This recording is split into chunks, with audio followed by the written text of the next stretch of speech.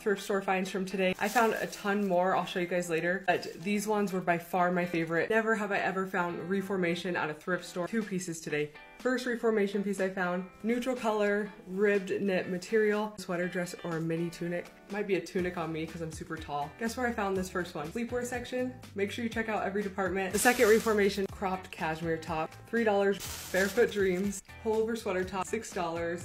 Super cozy material. Okay, the next one, I'm gonna learn how to sew just for this top. Missing a button, but it's Johnny Was. I'm picking up Johnny Was at a thrift store if it's ripped down the middle. It's Johnny Was, okay? Maybe there's a TikTok video how to sew a button on. Always have to leave the thrift store with a Nike piece. Simple graphic tee, $2. A pastel purple was so dang cute. I did find Lulu Scuba. I think somebody just donated their whole collection of Lululemon scuba jackets to that store. the third time I found one there. This last piece, I just saw the Las Vegas sign, and then I looked closer. I think this hoodie's worth 100 to 200 bucks. Travis Scott tour hoodie. Let me know in the comments if you like seeing my thrift hauls and my thrift finds.